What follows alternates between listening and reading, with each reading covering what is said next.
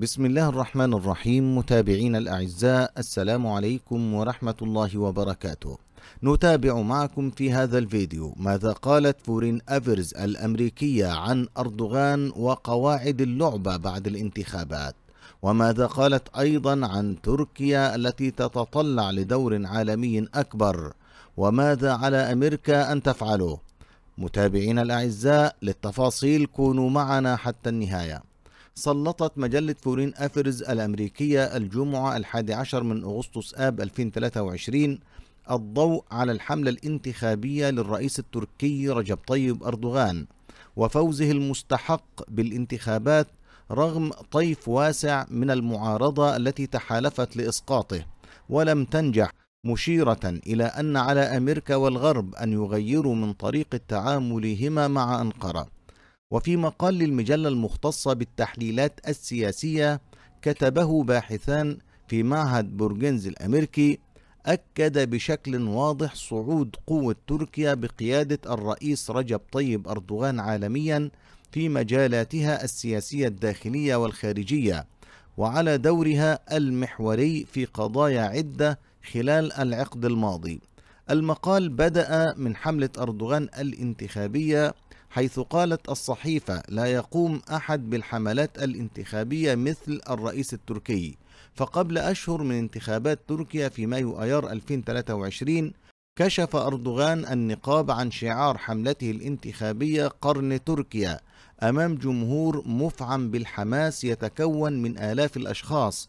متعهدا بجعل تركيا من بين العشرة بلدان الأولى في العالم في السياسة والاقتصاد والتكنولوجيا والدبلوماسية. ووفقا للصحيفة فإن الهدف من الخطاب كان توصيل رؤية تركيا للجمهورية التركية في الذكرى المئوية لتأسيسها. كقوة صاعدة على وشك السلام والازدهار خرجت منتصرة من معاركها العديدة مع الإمبرياليين وأصبحت أخيرا جاهزة لتأخذ مكانها الصحيح كقوة عالمية. ماذا عن تركيا قبل أردوغان؟ بحسب الباحثين فقد انتهى بحث تركيا الذي استمر لعقود عن الهوية حيث تعيش أنقرة اليوم مرحلة ما بعد الغرب ولم تعد تسعى للحصول على موافقته أو تطمح إلى المثل الليبرالية الغربية ولم تعد تعتمد على الغرب يتحدث المقال عن تركيا قبل أردوغان مشيرا إلى أن هويتها كانت قائمة على إرث مؤسس الجمهورية مصطفى كمال أتاتورك الداعي إلى التوجه نحو الحضارة الغربية والانتماء لها. كما أشار المقال إلى فترة ما بعد الحرب العالمية الثانية حينما حاولت تركيا حماية نفسها من التهديد الدائم للتوسع السوفيتي وهو ما دفعها أيضا نحو الغرب. من خلال ترسيخ نفسها في المؤسسات الأوروبية الأطلسية ومحاولة اللحاق بالديمقراطيات الغربية المتقدمة والمزدهرة. في المقابل نظرت واشنطن إلى تركيا من منظور الحرب الباردة كدولة حدودية مفيدة في الحرب ضد الشيوعية والنفوذ السوفيتي، لكن اليوم الصورة مختلفة تماما. بحسب المقال فإنه منذ أن تولى أردوغان السلطة عام 2002 وخاصة منذ محاولة الانقلاب الفاشلة ضد حكومته في 2016 ساءت علاقة واشنطن مع أنقرة بشكل مضطرد وهي الآن أقل متانة من العلاقات التي تقيمها الولايات المتحدة الأمريكية مع العديد من القوى غير الأعضاء في الناتو.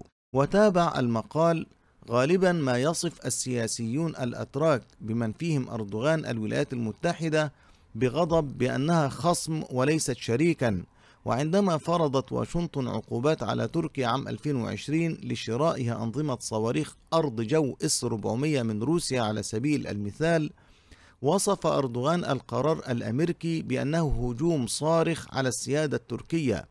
وقال إن الغرض من العقوبات هو منع الخطوات التي اتخذتها بلادنا في صناعة الدفاع وإبقاؤنا تابعين. كما أوضح المقال أن بعض صانعي السياسة الأمريكية يشككون علانية في التزام تركيا بحلف شمال الأطلسي ويخشون أن تقترب أنقرة من موسكو بحسب الصحيفة. لكن هذا الغضب المتبادل بدأ مؤخرا في التراجع إلى شيء يشبه القبول. بحسب المقال فإن تركيا في عهد أردوغان تعمل على أساس أن الغرب في حالة انحدار وأن عالما متعدد الأقطاب آخذا في الظهور وهو ما يوفر ظاهريا انفتاحا لصعود تركيا إلى مكانة قوة عظمى. لكن تركيا بحسب المقال لا تريد تغيير المعسكرات بالابتعاد عن حلف شمال الأطلسي والتوجه نحو منظمة شنغهاي للتعاون وهي منظمة دفاعية وأمنية أوراسية. شكلتها الصين وروسيا عام 2001 في محاولة لمنافسة الناتو. لكنها ترغب في الحفاظ على قدم لها في كل معسكر مع توسيع نفوذها في الشرق الأوسط وآسيا الوسطى وقوتها الاقتصادية على نطاق واسع. كما أشار المقال إلى أن أردوغان يسعى إلى انفصال واضح عن الغرب عندما يتعلق الأمر بالأيديولوجيا والثقافة والهوية إلا أنه يحاول أيضا تنفيذ عملية توازن مدروسة بعناية بين القوى العظمى على أمل إيجاد المزيد من الفرص التي يمكن لتركيا أن تمارس فيها نفوذها.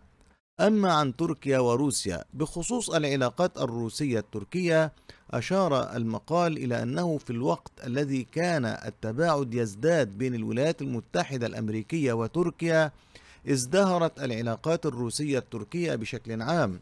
ونجت حتى الآن من الامتحان الذي فرضه الغزو الروسي لأوكرانيا فقد امتنع أردوغان عن أي انتقاد مباشر للفظائع الروسية.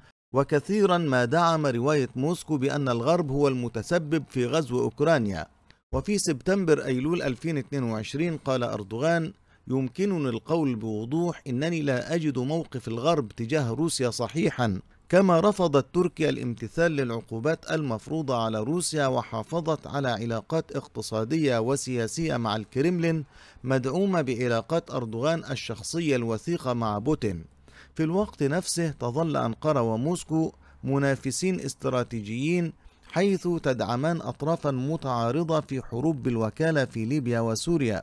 وعلى الرغم من رفضه القبول بالرواية الغربية بشأن الحرب في أوكرانيا ومعاقبة روسيا فقد وقف أردوغان بكل معنى الكلمة إلى جانب كييف في حربها ضد موسكو.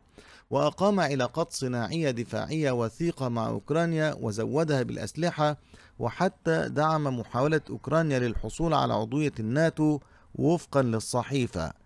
أما عن علاقات تركيا وأمريكا فيما أوضح مقال فورين أفيرز أنه قد ولت الأيام التي كان يمكن لرئيس أمريكي أن يقف فيها إلى جانب القادة الأتراك ولكن لا يزال بإمكان واشنطن بناء علاقة فعالة مع الدولة التي أصبحت عليها تركيا. وأضافت الصحيفة قد تكون أنقرة بعيدة عن كونها حليفا مثاليا. ولن تتأثر بمناشدات القيم المشتركة أو أهمية ما تعتبره واشنطن نظاما دوليا قائما على القواعد.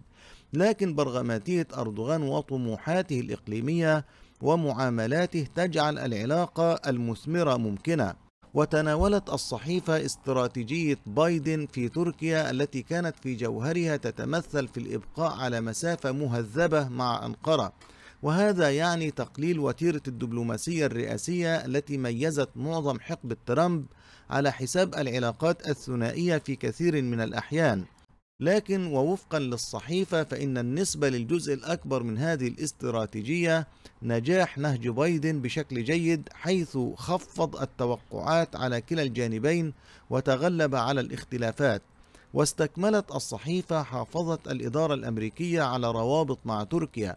ولكن فقط في القضايا ذات الأهمية الفورية مثل انسحاب الولايات المتحدة الأمريكية من أفغانستان عام 2021 والاتفاق بين روسيا وأوكرانيا الذي سمح للأخيرة بشحن الحبوب عبر البحر الأسود فقد لعب أردوغان دورا رئيسيا في الصفقة من خلال إقناع بوتين بالسماح بشحنات الحبوب. الصحيفة أشارت إلى موقع تركيا الاستراتيجي على البحر الأسود الذي يربط روسيا والشرق الأوسط وأوروبا. ويجعل البلاد لاعبا مهما في الحرب في أوكرانيا وحيويا لجهود الغرب لاحتواء روسيا. وإذا بدأت المفاوضات بين كييف وموسكو فقد تثبت علاقة أردوغان مع بوتين أنها رافعة مهمة للغرب. كما أوضحت الصحيفة أن تمتد أهمية تركيا بالنسبة لواشنطن وحلفائها إلى ما وراء منطقة البحر الأسود حيث يمكن أن تساعد أنقرة أيضا في الحفاظ على الاستقرار في القوقاز حيث يمكنها دفع حلفائها الأذريين للتوصل إلى اتفاق سلام مع أرمينيا وينطبق الشيء نفسه على العراق وسوريا حيث يساعد الوجود التركي واشنطن في الحفاظ على قدر ضئيل من النفوذ بحسب الصحيفة تأمل واشنطن أن تتمكن تركيا من المساعدة في إنشاء بنية مستدامة لنقل الطاقة تسمح لأوروبا بأكملها بالاستفادة من الموارد الهائلة المحتملة في شرق البحر الأبيض المتوسط. في الخلاصة شدد المقال على أنه يجب على واشنطن أن تسعى إلى استقرار علاقتها مع أنقرة، وهذا يعني التحرك نحو تبني عقلية تبادل المصالح، كما لفت المقال إلى أنه قد تكون المساومة الناجحة في قمة الناتو الأخيرة في فيلينيوس بشأن انضمام السويد إلى الناتو نموذجا على هذه العقلية. وزادت من الواضح أن أردوغان كان في مزاج يسمح له بالتبادل المصلحي وفي مقابل دعم محاولة ستوكهولم للانضمام إلى التحالف طالبت تركيا بتنازلات ليست من السويد فحسب بما في ذلك إنهاء حظر الأسلحة السويدي غير الرسمي على تركيا وقانون مكافحة الإرهاب السويدي الأكثر قسوة وتسليم العديد من طالبي اللجوء المرتبطين بحزب العمال الكردستاني ولكن من الولايات المتحدة الأمريكية أيضا. الصحيفة أكدت أنه يمكن أن تكون العلاقات الأمريكية التركية في وضع أفضل. بصالح الاقتصاد التركي يساعد أنقرة على تحقيق التوازن ضد روسيا ويمنح واشنطن مزيدا من الثقة مع تنامي نفوذ الصين في الشرق الأوسط. وتابعت تعد تركيا في عهد أردوغان نموذجا أوليا لنوع القوى المتوسطة التي يجب على واشنطن أن تتوقع ظهورها في كثير من الأحيان في عصر المنافسة الجيوسياسية القادمة. هذه القوى التي ستكون لا أعداء فيها ولا حلفاء لن تفهم صراع واشنطن مع بكين وموسكو من الناحية الأخلاقية أو الأيديولوجية بل سوف تسعى إلى الحفاظ على استقلالها من جميع الجوانب في الختام متابعينا الأعزاء أرجو أن تتركوا آراءكم وتعليقاتكم أسفل هذا الفيديو. كما لا تنسوا الإعجاب بالفيديو والاشتراك بالقناة وتفعيل الجرس ليصلكم كل جديد. دمتم بخير والسلام عليكم ورحمة الله وبركاته.